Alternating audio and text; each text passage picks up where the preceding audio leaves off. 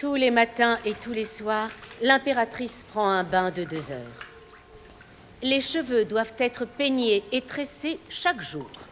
À cette fin, vous ne vous baignerez que dans un mélange de lait d'ânesse et de poivre des moines. Cela favorise également la fertilité. N'oubliez pas de nettoyer soigneusement les ongles. Votre peau est éclatante, comme un clair de lune.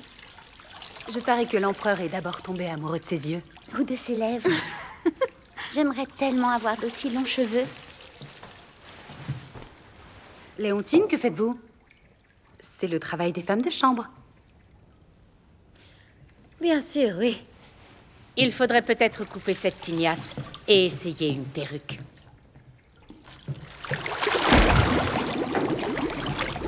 Que fait-elle?